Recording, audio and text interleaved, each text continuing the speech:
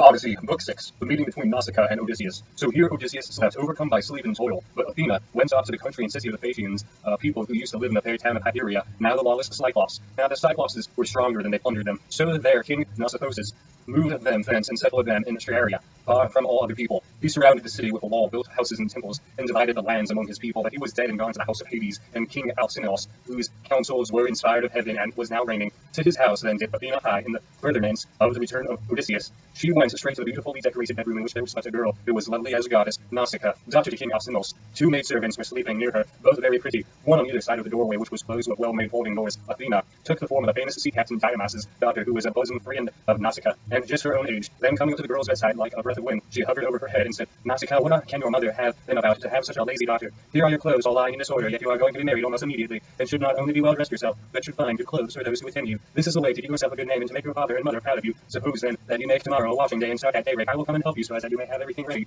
as soon as possible, for as all the young men among your own people are courting you, and you are not going to remain a maid much longer. Ask your father, therefore, to have a wagon and mules ready for us at daybreak, to take the rugs, robes, and girdles. You can ride, too, which will be much pleasanter for you than walking, for the washing cisterns are some way for, from the town.